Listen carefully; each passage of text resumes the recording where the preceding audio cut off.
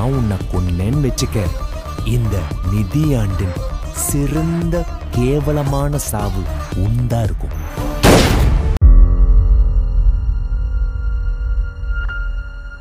எங்கள் அண்ணன் படம் முதல் படத்திலிருந்து வியந்து வியந்து வியந்து பார்த்தேன் நம்மளை கூப்பிடவே மாட்டேன்றாரு. இவர் நம்மளை நடிகனாவே ஒத்துக்கலையோ அப்படின்னு சொல்லி பல முறை எங்கள் அண்ணன்ட்ட கேட்டிருக்கேன். ஏன்னா என்னை கூப்பிடவே மாட்டேங்க அப்படின்னு. இல்லைடா போடா. வரும்போது வரும்டா போடா அப்படின்றாரு.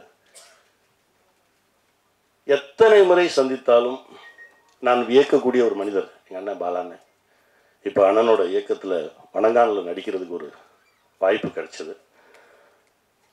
அது ஒரு அழகான ஒரு பயணமாக இருந்தது. ரொம்ப சந்தோஷம் எனக்கு அதில். அண்ணன் எங்கேயுமே வரமாட்டாங்க. அண்ணனோட தொடர்பு கொண்டு அண்ணனை இந்த மாதிரி வாங்கன்னு கூப்பிட்றதே அதற்கான விஷயம் இருந்தால்தான் செய்யணும் அப்படின்னு சொல்லி தான் ஒவ்வொரு முறையும் யோசிச்சுட்டே இருப்பேன். ஆனால் இந்த முறை இந்த படத்திற்கு அண்ணன் வந்து நின்னா சரியாக இருக்கும் அப்படின்னு தோணுச்சு. நான் ஃபோன் பண்ணேன். அண்ணா இந்த மாதிரி விஷயம்ண்ணே நீங்கள் வரணும் அப்படின்னா. அண்ணா சொன்னார் வரேன்டா.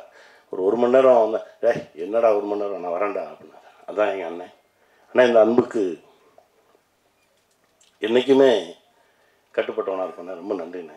தேங்க்ஸ்ண்ணே லவ்யூண்ணே லவ்யூண்ணே நன்றி. என்னுடைய சொந்தங்கள் அனைவருக்கும் என்னுடைய மனமார்ந்த நன்றி.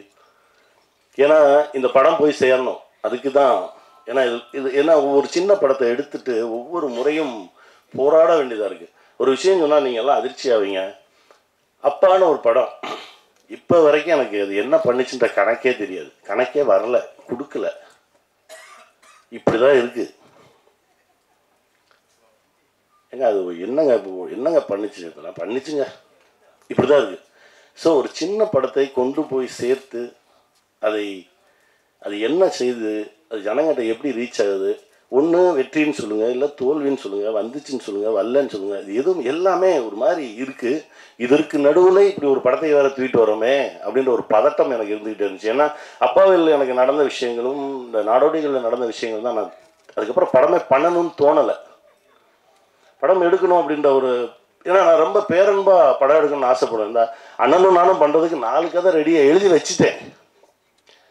அண்ணன் பார்க்கும்போது அங்கே பாரு எப்படா எப்படா தம்பி தம்பி எப்போ போவோம் அப்படின்னு. இன்னைக்கு தான் சொன்னேன் அண்ணன் தம்பி கல்யாணம் முடிஞ்ச உடனே அது என்ன வேணாலும் நடக்கட்டும்ண்ணே இப்போ தெலுங்குல ஒரு ஏரியா இருக்குண்ணே நம்ம ஏதோ ஒன்று பண்ணி உருட்டிடலாம் எடுத்துடலாண்ணே அப்படின்னு இப்போ தான் சொன்னேன் நான். ஏன்னா என்ன நடக்குது? அதாவது எடுத்துடுறோம் பேரன்போடு எடுத்துடுறோம். அதை கொண்டு போய் வைக்கும்போது அந்த சந்தோஷமே இருக்க மாட்டேங்குது. அதற்கு ஒரு வழியும் தெரிய மாட்டேங்குது. இந்த படத்தையும் இந்த நிலைமையில தான் எடுத்துட்டு வரோம் எங்கேயோ ஒரு இடத்துல ஒரு வெளிச்சம் தெரியும் அப்படின்னு நம்புகிறோம் நான் நம்பக்கூடிய இந்த பிரபஞ்சமும் இறையும் எங்களுக்கு ஒரு நல்ல வழியை காட்டட்டும். மகிழ்ச்சி. நன்றி.